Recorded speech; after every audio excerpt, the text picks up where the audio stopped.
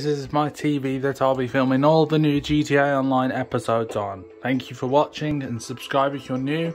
I haven't checked my YouTube channel yet, but I'm going to check it in a minute. But please have a look at my YouTube channel and see how well it's going. Bye.